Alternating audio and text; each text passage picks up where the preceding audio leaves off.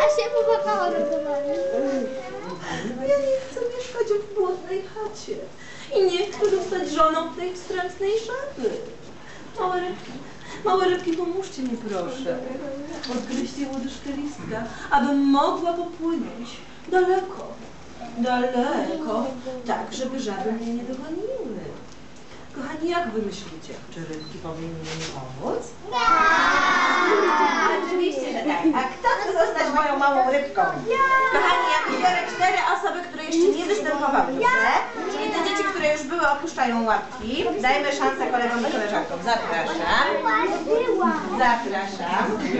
Zapraszam i zapraszam. Chodźcie.